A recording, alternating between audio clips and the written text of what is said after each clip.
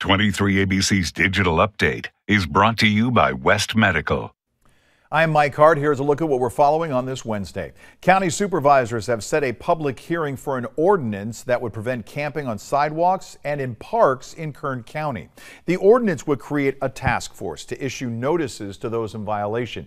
The team would connect those out on the streets to resources like shelters and then store any items that it removed from these campsites for 90 days. Supervisor Mike Maggard introduced the idea after a similar rule was brought up in Los Angeles. As I passed through town a couple days ago, I saw uh, four or five people that were completely splayed out on the on the sidewalk.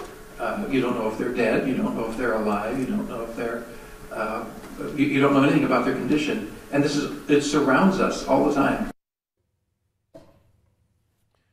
Now, this hearing is scheduled for November 9th. The Board of Supervisors also talked about other measures to fight homelessness, like building tiny homes. We'll continue to follow that.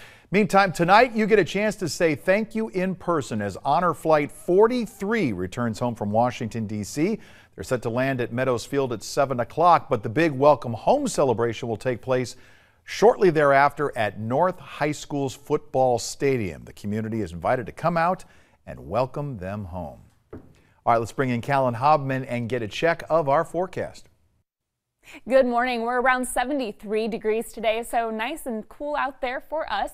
Around 75 for our Thursday. Warming up though heading into the weekend. We're in those 80s by Saturday and Sunday, sticking around that 80 degree mark heading into the new week. As for our mountains, a little breezy out there today. We're in those upper 60s for Lake Isabella, around 60 for Tehachapi, and Frazier Park is in those upper 50s. Also warming up heading into the weekend will be around 80, 81 degrees for Lake Isabella on Saturday. Tehachapi will be at 72 and Frazier Park at 70 pretty similar temperatures, but slight cool off on Sunday. And then as we head into the new week, you can see on Monday we're in those upper 70s for Lake Isabella, same for Tuesday. And then for Tehachapi and Frazier Park, we're sticking around that 70 degree mark, but heading into those upper 60s as we head into Tuesday for those communities. And that's a look at some of the stories we're following at this hour for breaking news, weather, and traffic. Anytime, anywhere, download our free mobile and tablet apps. Have a great day.